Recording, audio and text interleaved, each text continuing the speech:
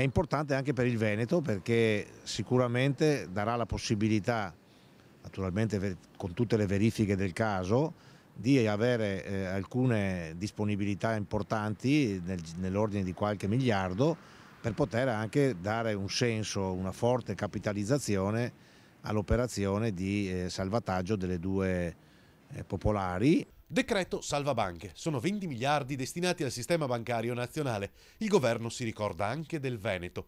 Dopo l'approvazione in prima lettura del Senato, il testo in poche settimane dovrebbe ottenere il via libera definitivo dal Parlamento.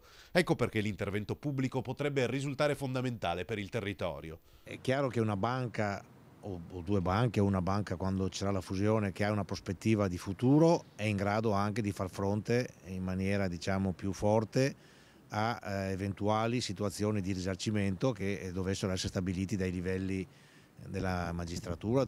Avere una banca che comunque funziona intanto è importantissimo per il territorio perché riprenda l'attività di supporto alle aziende, al lavoro, al sistema territoriale, quindi alle famiglie, dall'altro può avere anche più possibilità di far fronte a eventuali risarcimenti che eh, la magistratura dovesse stabilire a favore dei risparmiatori come credo sarà inevitabile nei casi soprattutto in cui ci sono state proprio quelle truffe che abbiamo più volte denunciato. Banche solide dunque sono anche banche capaci di reggere l'onda d'urto delle legittime richieste di risarcimento da parte dei soci rimasti beffati dal crollo delle azioni delle popolari venete. A loro le istituzioni devono dare risposte concrete.